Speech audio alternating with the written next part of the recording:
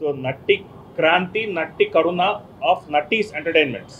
దీనికి సంబంధించి sir signature sir letter head forge చేసి సార్ ఇంత అమౌంట్ ఇవ్వాలి అని చెప్పి చెబుతూ వాళ్ళు ఏదైతే కోర్టులో వేశారో అంటే కోర్టును కూడా మిస్లీడ్ చేస్తూ వారు ఏదైతే డాక్యుమెంట్ తీసుకొచ్చుకున్నారో ఆ డాక్యుమెంట్ మా నోటీస్కి వచ్చిన వెంటనే మా నాలెడ్జ్కి వచ్చిన వెంటనే దాని మీద క్రిమినల్ చర్యలు తీసుకోవచ్చు. ఇది ఒక ఫ్రాడ్యులెంట్ డాక్యుమెంట్ ఒక ఫోర్జ్ డాక్యుమెంట్ ఒక ఫ్యాబ్రికేటెడ్ డాక్యుమెంట్ కావాలని చెప్పి ఒక వాల్యుబుల్ సెక్యూరిటీని ఫోర్జ్ చేసి కోర్టుని మిస్లీడ్ చేస్తూ తీసుకొచ్చిన డాక్యుమెంట్ కాబట్టి దీని మీద ఏ విధంగా అయితే లీగల్గా తీసుకోవాల్సిన ఆప్షన్స్ ఏవైతే ఉంటాయో within the framework of law ఏవైతే ఉంటాయో ఆ సెక్షన్లన్నీ పెడుతూ ఈరోజు సిఏ గారు సిఏ గారి సమక్షంలో ఆయనకి ఎక్స్ప్లెయిన్ చేస్తూ దానికి సంబంధించిన అనెక్షర్స్ ఏవైతే ఉంటాయో వాళ్ళు చేసిన ఫోర్జ్ డాక్యుమెంట్ అలాగే మన మన లెటర్ హెడ్ ఏదైతే ఉంటుందో ఆ letter head plus sir signatures ఏవైతే ఉంటాయి సార్ సిగ్నేచర్స్ అవన్నీ క్లియర్గా ఇస్తూ ఈరోజు ఏదైతే Natti Kranti and Natti Karuna of Nattis entertainments వాళ్ళకి సంబంధించినంత వరకు సెక్షన్స్ సెక్షన్స్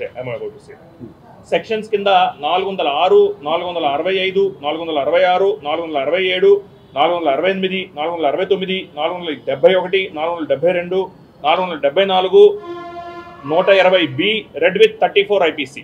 వీటి వీటి కింద కేసు నమోదు చేయవలసిందిగా ఈరోజు పోలీసు వారిని అడగడం జరిగింది. పోలీస్ వారు దాన్ని తీసుకొని అడ్మిన్ ఎస్ఐ గారు మనకి ఎక్నాలజ్మెంట్ ఇవ్వడం జరిగింది. అలాగే ఒక ఎక్నాలజ్మెంట్ కాపీ కూడా ప్రొవైడ్ చేయడం జరిగింది. సో దీనికి సంబంధించి ఎఫ్ఐఆర్ కూడా రిజిస్టర్ చేసి సో దీని కాపీ కూడా మనకి షేర్ చేస్తాను. బై సాయంత్రం కల్లా షేర్ చేస్తాను. సీఏ గారు చెప్పడం జరిగింది.